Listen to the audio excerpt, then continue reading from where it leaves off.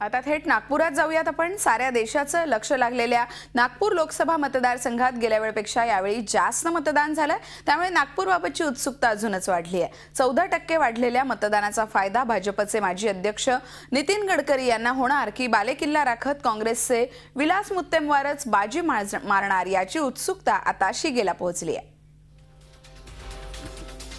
विदर्भातली सगळ्यात महत्वाची आणि साऱ्यांचं लक्ष लागलेली जागा म्हणजे नागपूर लोकसभा मतदारसंघ. या मतदारसंघात भाजपचे माजी अध्यक्ष नितीन गडकरी काँग्रेसचे विद्यमान खासदार विलास मुत्तेमवार आणि आपच्या अंजली दमानिया यांच्यात तिरंगी लढत झाली आहे दोन हजार नऊच्या तुलनेत यंदा मतदानाचा टक्का वाढलाय. वाढलेल्या मतदानाचा फायदा कुणाला होणार याची चर्चा सध्या जोरात सुरू आहे. या भागात कुणबी तेली बौद्ध मुस्लिम आणि ब्राह्मण समाजाचं वर्चस्व असल्यानं जातीय ध्रुवीकरणाचा फायदा कुणाला होणार हा खरा प्रश्न आहे. नागपूर पूर्व विधानसभेमध्ये दोन हजार नऊच्या तुलनेत तेरा टक्के मतदान वाढलंय. नागपूर पश्चिम विधानसभा मतदारसंघात सोळा टक्के मतदान वाढलंय. नागपूर उत्तर विधानसभा मतदारसंघात बारा टक्के मतदान वाढलंय. नागपूर दक्षिणमध्ये चौदा टक्के मतदान वाढलंय. नागपूर मध्य विधानसभा मतदारसंघात पंधरा टक्के मतदान वाढलंय.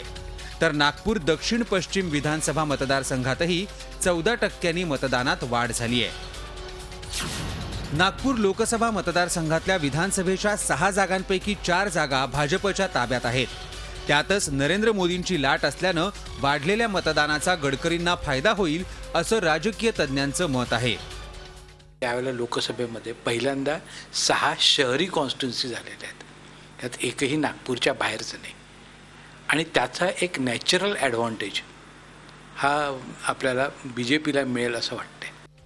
नागपूर लोकसभा मतदारसंघात मुस्लिम समाजाची मतं यंदा आपकडे वळण्याची शक्यता व्यक्त केली जाते त्यामुळे याचा थेट फटका गेल्या निवडणुकीत नागपूरवर निर्विवाद वर्चस्व असलेल्या मुत्तेमवार यांना बसण्याची शक्यता आहे.